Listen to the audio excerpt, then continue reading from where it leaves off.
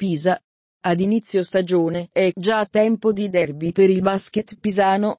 In promozione maschile, nel posticipo di lunedì al Palasport Carlesi, si sfideranno IS Sport e GMV Basket, con stati d'animo opposti dopo la prima giornata di campionato.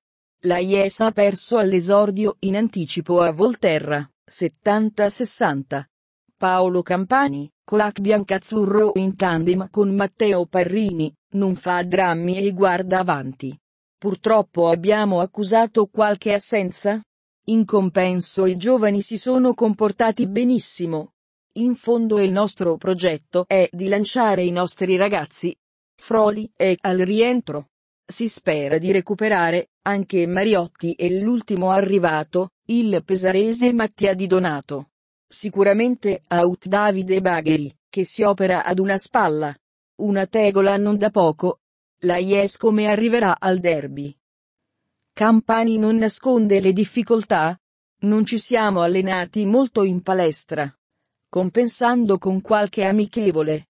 Affronteremo una bella squadra, che ha tanti giovani e due ottime chiocce come Malventi e Bolelli, ex capitano della IES, NDR, sono più in palla di noi. Si vede che provano i movimenti. Anche noi lavorando miglioreremo.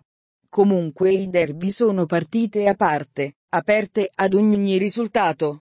Grande entusiasmo in casa GMV dopo il vittorioso debutto ai danni di 6 Rose Rosignano, 76-72.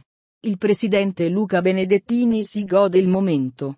I ragazzi sono stati tutti bravissimi, contro una squadra molto veloce, che inizialmente ci ha fatto soffrire.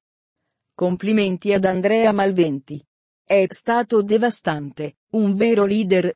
Pian piano abbiamo recuperato e ribaltato il risultato, reagendo bene anche all'uscita di Malventi per 5 falli.